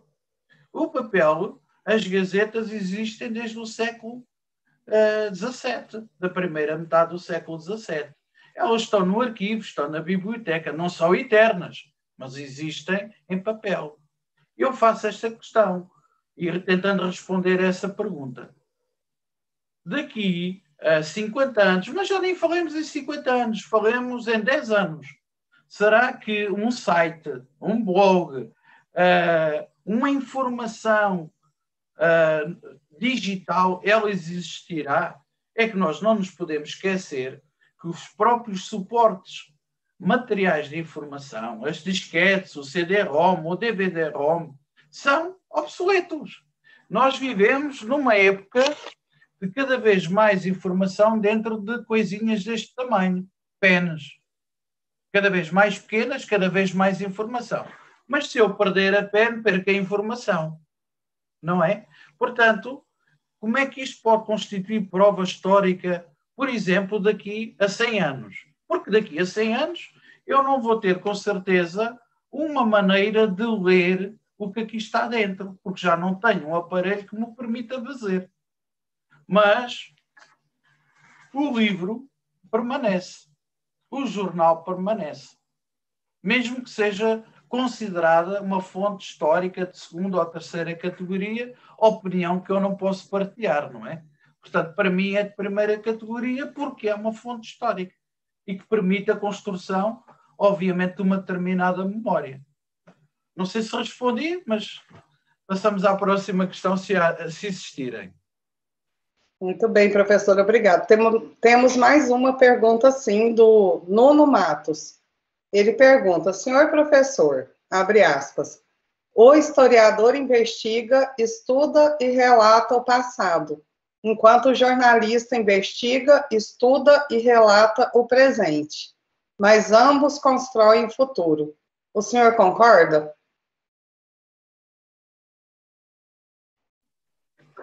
Permita-me cumprimentar o meu colega e grande amigo Nuno Matos, colega de carteira há muitos anos e colega do curso de comunicação. É uma pergunta pertinente porque o historiador e o jornalista são irmãos conceptuais. Embora o jornalista faça a história do dia seguinte, o acontecimento foi ontem, mas o jornal saiu hoje, é a história do dia seguinte.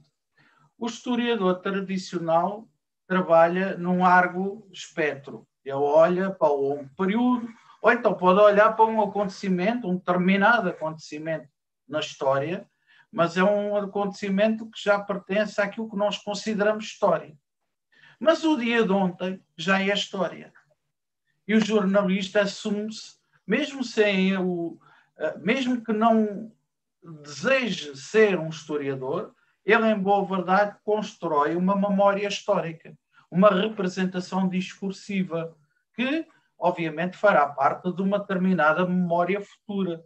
Portanto, Estas três dimensões, passado, presente e futuro, também são elas todas construções da história e construções do próprio jornalismo. Porquê?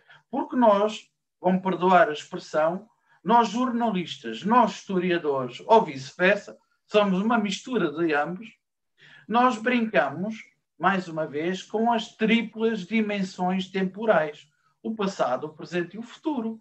A história não é só o estudo do passado, é a compreensão do presente, é uma antecipação do futuro. A prática jornalística também é assim.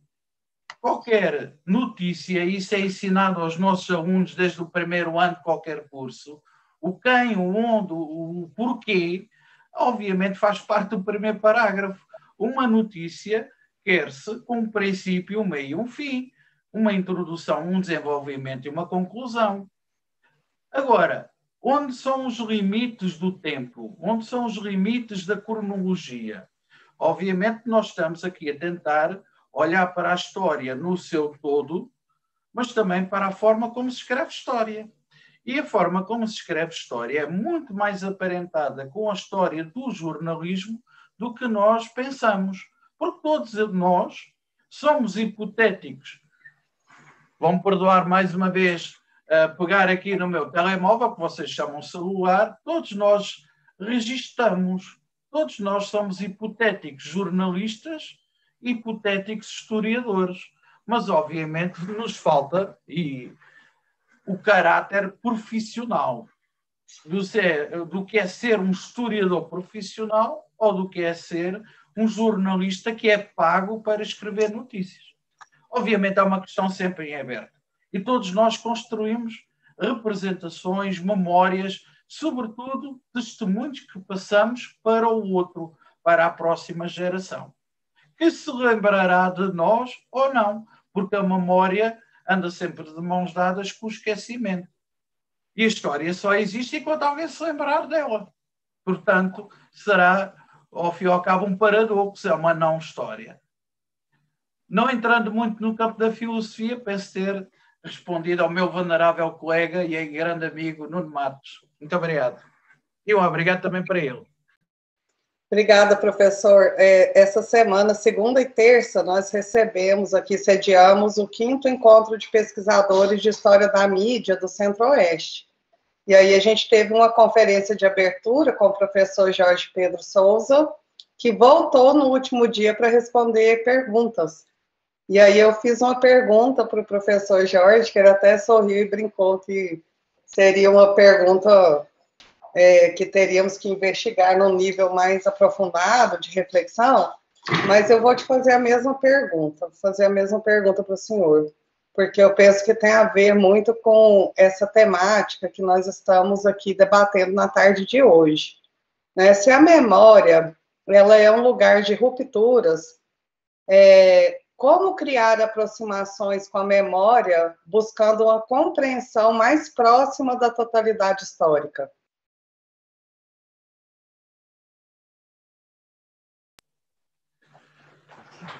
Vou tentar responder, obviamente, mais uma vez com a minha opinião muito própria. Todos nós temos, obviamente, uma capacidade inata de memória, ou seja, todos nós temos capacidades mnemónicas.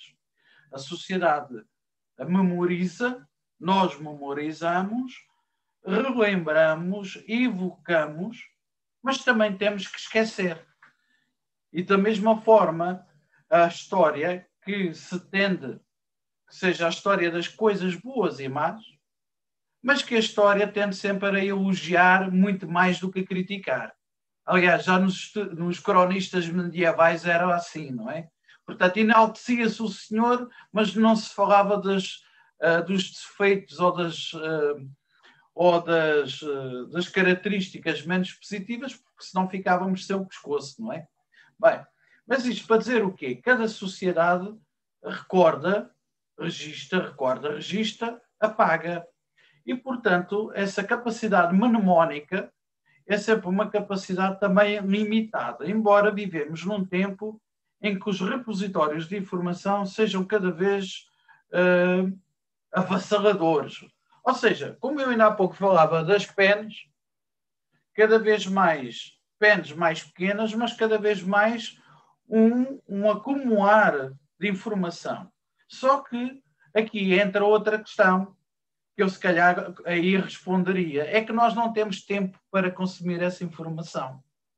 E o tempo, também em virtude dos mesmos meios de comunicação, ele acelerou, é hiperacelerado. Se nós queremos que o dia custa passar, é desligar todos os aparelhos eletrónicos e o dia nunca mais passa. Ou seja, ele abranda, mas obviamente é uma ilusão temporal, como sabemos, não é? Bem, mas seja como for, todos registamos. Agora, em termos de rupturas com aquilo que se pode aproximar ou não a história verdade e memória que não são necessariamente iguais nem são necessariamente uh, fidedignos, porque cada país, por exemplo, constrói a sua própria memória histórica. Eu tudo sei sobre a história de Portugal. Não sei, obviamente, mas eu só conheço a história do Brasil. Claro que conheço um pouco mais, mas eu só conheço a história do Brasil até 1822, porque a partir daí não conheço todas as histórias não deixam de ter o seu caráter etnocêntrico, não é? Nós olhamos para o nosso próprio umbigo. Nós estamos aqui em Portugal, um país tão pequeno, eh, a nossa população total equivale a uma, uma cidade média vossa. Nem sequer eu tenho a noção da escala incomensurável das distâncias, mas eu nada sei aqui sobre os nossos vizinhos espanhóis, não é? Portanto, as histórias, as memórias são sempre obviamente, obviamente muito centrífugas, muito ligadas ao centro. Agora, obviamente também são todas elas instrumentalizadas e todas elas têm o seu, um, os seus propósitos, os seus objetivos. Nem sempre os melhores, porque muitas das vezes, como bem sabemos, as memórias históricas, quantas vezes não utilizadas para fins ideológicos, partidários, mas isso era uma discussão que nunca mais sairíamos daqui hoje, não é? Espero ter respondido uma vez mais. Muito obrigada, professor Eurico. Eu penso que as relações entre história e a memória, elas realmente são muito preciosas nos tempos atuais, né, nos quais a gente vê cada vez mais crescente ondas que negam a história, que negam a memória e que até mesmo negam a própria ciência, como é o caso que a gente tem vivenciado no Brasil nos últimos anos recentes. Né? O Brasil hoje é epicentro da pandemia de Covid no mundo, né? e se nega constantemente a história, a memória e até mesmo a própria ciência.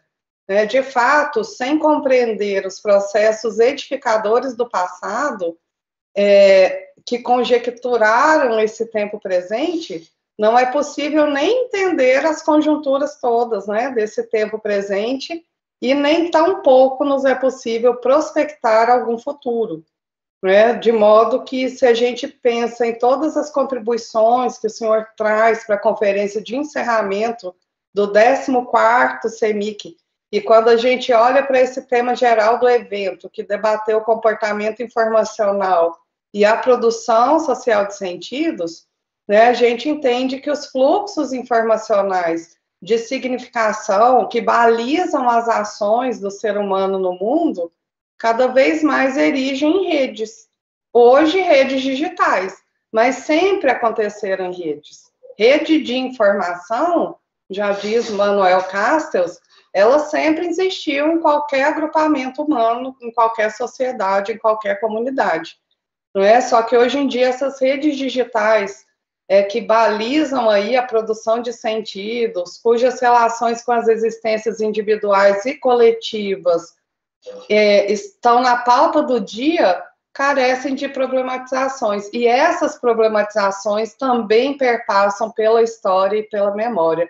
Não é possível fazer análise conjuntural de presente, prospectar o futuro, sem que a gente entenda essas relações entre história e memória, e considerando que são duas categorias extremamente contraditórias. Né? Então, assim sendo, professor, a gente agradece imensamente as suas contribuições aqui nesta conferência de encerramento, e eu te passo a palavra para que o senhor possa tecer as considerações finais para o nosso 14º CEMIC. Muito obrigado, senhora professora Rosana. Eu, eu acrescentaria um pouco, é que, obviamente, nós aqui em Portugal não sentimos essa, essa inversão quase civilizacional como vós. Aliás, basta a própria escala geográfica de ambos os países, a escala continental vossa e a nossa minúscula, mas que pensamos que ainda somos alguma coisa em termos culturais. Uh, eu diria o seguinte: eu penso que nós uh, estamos quase que a viver uma inflexão civilizacional, no sentido em que a rede digital também não deixa de alimentar os próprios mecanismos de uh, ignorância. Eu quero acreditar que isto é uma moda. Vai passar, como qualquer outra moda passageira. E há de passar, com certeza. Só que de alguma forma, nós estamos a viver aquilo que às vezes eu chamo um novo tempo medieval. E no tempo medieval, as sociedades fecharam sobre si próprias, com medo da doença, com medo do inimigo, com medo das pestes, fomes e guerras, não interessa. E nós estamos a viver um pouco o paralelismo desse tempo. Não é que agora voltemos ao século XIV, não é nada disso. Mas há, de facto, uma inflexão.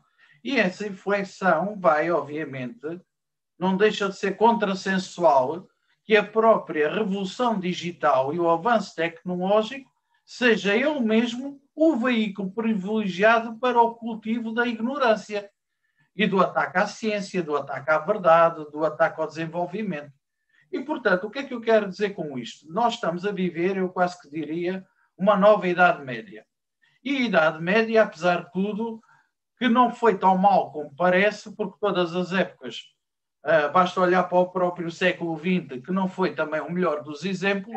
Portanto, uh, a Idade Média, que é um, ou que foi um conceito especificamente europeu e à volta do Mediterrâneo, mas que, de alguma forma, nós vivemos novos tempos medievais, em que a intolerância, a incompreensão, uh, o falhanço das políticas liberais, o, o suposto falhanço, porque depois há quem diga que não houve falhanço algum, mas os avanços económicos, os retrocessos económicos, toda esta falta de previsão para o futuro. É que nós hoje olhamos para o futuro, e como alguns autores o indicam, e o futuro é cada vez mais líquido, ele não é previsível. Nós temos, eh, é que, por exemplo, nos anos 60, nós tínhamos um mundo dividido em dois. Sabíamos que tínhamos os Estados Unidos de um lado, a União Soviética do outro, não é? Hoje, o próprio fenómeno da guerra é uma guerra assimétrica. A própria luta contra a pandemia não deixa de ser, em boa verdade, uma guerra aberta. Só que agora os soldados são outros. As estratégias, as táticas são completamente diferentes, não é? Portanto, todo o mundo, de alguma forma, está a reposicionar numa época e entrar numa outra. Eu estou em crer que nós vivemos, obviamente, um período de algum limbo civilizacional. E porque a força de uma pandemia nos obrigou a, a, constatar que, apesar de todo o avanço tecnológico, nós somos tão imunes à doença como os habitantes, como os, os homens e as mulheres do século XIV. Porquê? Perante o medo da doença, perante o medo da morte, a história das mentalidades ensina-nos que somos todos iguais, todos temos medo do escuro, não é? Portanto, de alguma forma, o que estamos a ver, e retomando o fio uh, condutor, nós estamos a viver, de facto, penso eu, uma verdadeira inflexão civilizacional. E que não deixa de ser curioso que são os próprios meios digitais que estão a fomentar isso. Seja em que linha for, seja em que nível for. Não é? Portanto, o que é verdade ontem, hoje já não é. Nós uh, discutimos tudo, a Terra uh, já não é redonda, deixou de ser redonda entretanto, agora já voltou a ser mesa, uh, uma mesa, já voltou a ser plana como era na Idade Média, não é? Portanto, os terraplanistas acham que o fim do mundo é já ali, não é? Quer dizer, o navio ao navegar cai. Portanto, o abismo onde cai é um abismo medieval, não é? Porque, enfim, são, são sinais dos tempos. Estou em crer que eu sou otimista e estou em crer que será uma moda, que terá também as suas consequências, obviamente, não é? mas que há de passar, esperemos, a bem de todos também, mesmo daqueles que negam. Obrigado. Mais uma vez, professor Eurico, muitíssimo obrigada pela presença do senhor. Esperamos contar mais vezes com o senhor aqui nos ambientes do programa de pós-graduação em comunicação da FIC UFG. E antes de encerrar, o 14º CEMIC, em nome da, da comissão organizadora do evento e em nome da coordenação do PPG-Com, eu quero ler uma nota de posicionamento. Abre aspas. Durante a manhã do dia 25 de março, ontem, houve um ataque virtual por parte de um grupo de invasores não identificados a um dos grupos de trabalho do 14º Seminário de Mídia, Informação, Cultura e Cidadania da Faculdade de Informação e Comunicação da Universidade Federal de Goiás. Os invasores interromperam a apresentação do trabalho de um dos apresentadores do GT, expressando ódio através de xingamentos em incessantes intervenções. No chat da sala, o grupo de invasores atacou o monitor do GT, que buscava desligar os microfones e controlar o acesso à sala, com termos pejorativos e LGBTfóbicos. É inadmissível um ataque ao seminário e à ciência. É inadmissível também ofensas direcionadas à sexualidade de qualquer pessoa. Lamentamos o ocorrido e seguimos construindo uma universidade plural e emancipatória. Fecha aspas, comissão organizadora do CENIC e coordenação do programa de pós-graduação em comunicação da UFG. Então, posicionamento realizado, também em nome da comunicação organizadora do 14º CEMIC, eu agradeço aos autores e autoras dos 92 trabalhos apresentados nos nove grupos de trabalhos do evento, aos mais de 400 participantes que se fizeram presentes neste evento, o maior CEMIC de todos os tempos. Agradecemos imensamente também aos professores, às professoras, aos monitores, monitoras que colaboraram nas diversas comissões e grupos de trabalho do CEMIC, cuja maioria são vinculadas, vinculadas e vinculados ao PPG-Com, nossos doutorandos, mestrandos, mestrandas e doutorandos. Informamos que o 15º CEMIC, referente à edição de 2021, será realizado de 25 a 27 de agosto, com algumas novidades que já estão sendo debatidas pelo colegiado do PPG-Com, sendo que a maior dessas novidades é a criação do CEMIC Iniciação Científica, destinado ao debate da produção científica dos cursos de graduação em Informação e Comunicação. Desejamos uma boa tarde a todos e todos, com votos de muita saúde Registramos o nosso imenso agradecimento a toda a equipe do projeto Programa de Extensão em Redes Digitais, coordenado pelo professor Magno Luiz Medeiros, e nesta conferência de encerramento, registramos os nossos agradecimentos à discente do PPG-Com, Isabela Lefol, que conduziu a transmissão para o canal FIC do YouTube. Muitíssimo obrigada, Isabela. E muito mais do que um evento científico, nós pensamos que juntos e juntas nós conseguimos construir laços afetivos de modo remoto e em tempos tão difíceis. Então, nós só temos a agradecer e já estamos ansiosos pelo próximo CEMIC, o 15º CEMIC. Muito obrigada.